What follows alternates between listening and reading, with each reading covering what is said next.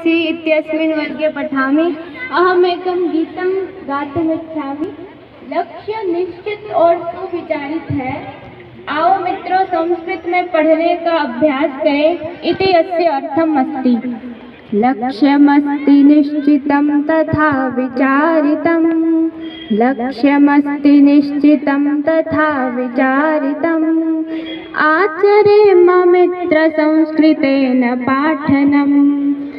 आचरेम मित्रसंस्कृतेन पाठनम्। लक्ष्यमस्ति निश्चितं तथा विचारितम्।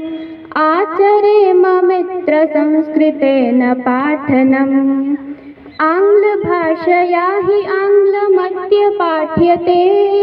हिन्दी हिन्दीभाषया तथैव शिक्ष्यते।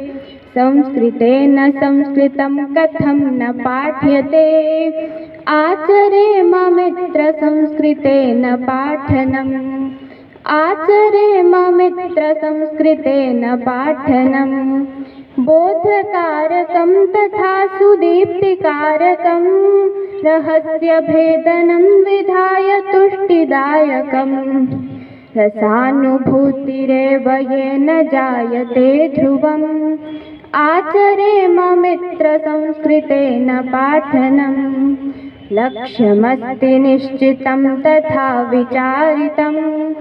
आचरेम मित्रसंस्कृतेन पाठनम्। आचरेम मित्रसंस्कृतेन पाठनम्। धन्यवादः